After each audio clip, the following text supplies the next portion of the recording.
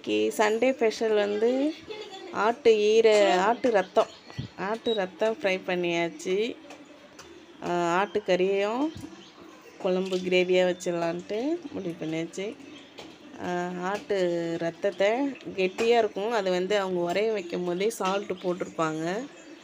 அது வந்துட்டு நம்ம வாங்கின்னு வந்து வாஷ் பண்ணிவிட்டு இது மாதிரி உங்களுக்கு பிசைஞ்சு விட்டுக்கலாம். இல்லை க்யூப் க்யூபாக கட் பண்ணிக்கலாம். இது வந்து ஆட்டுக்கறியையும் நல்லா மஞ் போட்டு நல்லா வாஷ் பண்ணிட்டேன். வாஷ் பண்ணிவிட்டு எடுத்து வச்சாச்சு.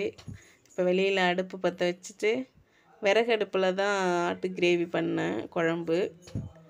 இப்போ எப்படி வருதுன்னு பாருங்கள் அதில் வந்து வானல் வச்சுட்டு நல்லா அது காயணும்.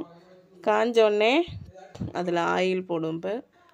ஆயில் போட்டு பட்டை லவங்கம் கிராம்பு அன்னாசிப்பூ அன்னாச்சிப்பூ சோம்பு ஜீரகம்லாம் போட்டுட்டு நல்லா வெடிக்க வச்சுட்டு அப்புறமா ஆனியன் போடுங்க.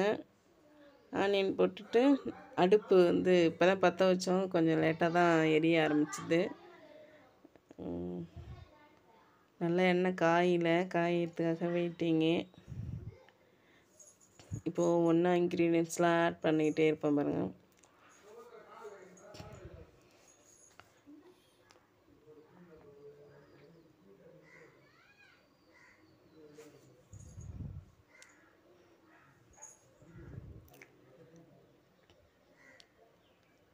ஆட்டுக்கறி குழம்பு வைக்கும்போது வந்து நிறையா எண்ணெய் போட்டு சொத சொதன்னு சாப்பிடாம அது ஒரு டேஸ்ட்டே போயிடும். ஏதோ ஆயில் கிரேவி சாப்பிட்ட மாதிரி.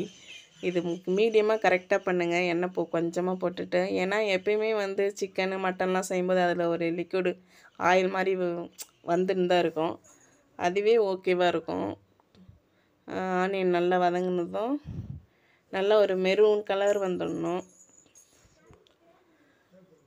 குழம்பு ஊற்றி சாப்பிடும்போது சாதத்தில் அந்த ஆயில் இல்லாமல் ஒரு பசபசன்னு இல்லாமல் இருக்கணும். நல்லாயிருக்கும் சாப்பிட அப்போ தான் நல்ல மெரூன் கலராக அந்த ஆனியன் வதங்கினோடனே டொமேட்டோ போட்டுடலாம். நெக்ஸ்ட்டு அந்த அடுப்பு பற்ற வச்சு விறகு அடுப்பில் சமைச்சதே ஒரு டேஸ்ட்டு தான். நல்லா தான் இருக்கும். ஆனால் நமக்கு பழக்கம் இல்லைன்றதால கொஞ்சம் டென்ஷனு மற்றபடி ட்ரை பண்ணினா வந்துட்டே வந்துடும்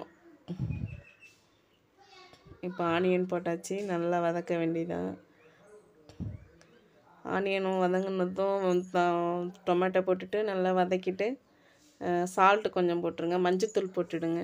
நல்லா வதங்கட்டும். அப்போ வந்து ஒரு பாண்டிங்கே கிடச்சிரும். அப்புறமா கறி அலசின கறி இஞ்சி பூண்டுலாம் போட்டு அப்போ தான் அதில் சால்ட்டெல்லாம் இறங்கும். போட்டு நல்லா வதக்குங்க. எண்ணெயிலே நல்லா வதக்கிடுங்க.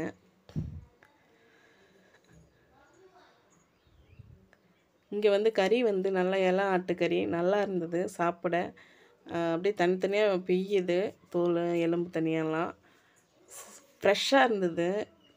அப்புறம் பாருங்க கறி பார்க்கும்போதே தெரியுது. ஆஃப் கேஜி எடுத்துட்டோம் அரை கிலோ ஆட்டுக்கறி.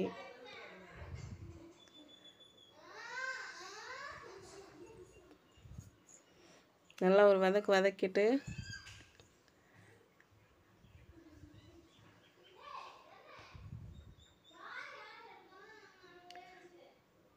நல்லா ஆயில் பாத் பண்ணிவிட்டு ஆட்டுக்கறி குழம்பு வச்சு ஆட்டு ரத்தம் பொரியல் பண்ணி சாப்பிட்டா எப்படி இருந்துங்க தெரியுமா? செம்மையாக இருந்துச்சு. இஞ்சி பூண்டு விழுது. சோம்பு ஜீரகம் மிளகு இஞ்சி பூண்டு வெங்காயம் கொஞ்சம் ச சின்ன வெங்காயம் உரிச்சு போட்டு எல்லாத்தையும் அரைச்சிட்டேன் பேஸ்ட்டாக அந்த விழுது அதோட பேஸ்ட்டு தான் அரைச்சது தான் அதில் போட்டு மிக்ஸ் பண்ணிகிட்ருக்கோம் மிக்ஸ் பண்ணிவிட்டு அதில் வந்து அந்த மிக்சியெல்லாம் மறைச்சோம் இல்லையா அதெல்லாம் கொஞ்சம் கிரேவிக்கு தண்ணிக்காக ரெடி பண்ணி சால்ட்டு போட்டுட்டு வீட்டில் அரைச்ச மிளகாத்தூள் தான் யூஸ் பண்ணுறேன் கறி மசாலா தூள் எதுவுமே யூஸ் பண்ணல. வீட்லேயே நாங்கள் இதுக்காக ப்ரிப்பேர் பண்ண மிள மிளகாத்தூள் ஒரு ஒரு நாலு ஸ்பூன் போட்டுருவேன். காரம் வந்து பசங்க இருக்கிறதால கொஞ்சம் கரெக்டாக போடுவேன் எப்போவுமே. நமக்கு வந்து பெரியவங்களுக்கு ஏற்ற மாதிரி ஒரு ஃபைவ் ஸ்பூன் கூட போடலாம். நல்லா மிக்ஸ் பண்ணிவிட்டு ஸ்லோ ஃப்ளேமில் அடுப்பு எரிய வைக்கல.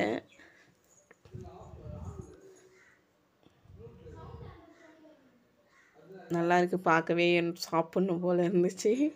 பட் வந்து நமக்கு என்வியில் அவ்வளோவா வந்து பிடிக்காது. இருந்தாலும் பையனுக்காக சமைக்க ஒவ்வொன்றா ஒவ்வொரு டிஷ்ஷாக கற்றுக்கிட்டேன் கற்றுக்கிட்டு எப்படியே சமைச்சு அவனுக்கு சாப்பிட வச்சிருவேன். அவன் சாப்பிட்டாலே திருப்தியாகிடும் அந்த ஆட்டு ரத்தம்லாம் க்ளீன் பண்ணவே எனக்கு பிடிக்கல.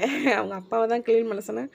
இருந்தாலும் பையன் சாப்பிட்ணுன்றதால அதை நானே வாஷ் பண்ணிவிட்டு கீபா வெட்டாமல் கை போட்டு கொஞ்சம் பொடிசாக முட்டை மாதிரி பொரிச்சிடலாம் அப்படின்ட்டு அப்படி பொரித்தேன் நல்லா இருந்துச்சு சாப்பிட.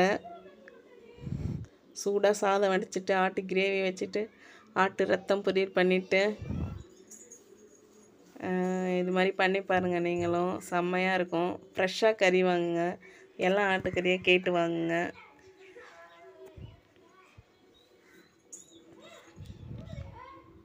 கிரேவிக்கு த ஏற்ற மாதிரி கொஞ்சம் கறியும் வேகணும் இல்லையா? அதனால் நான் குக்கர்லலாம் வைக்கல. தனியாக வானல் வச்சு பாத்திரத்தில் தான் சமைச்சிட்ருக்கேன்.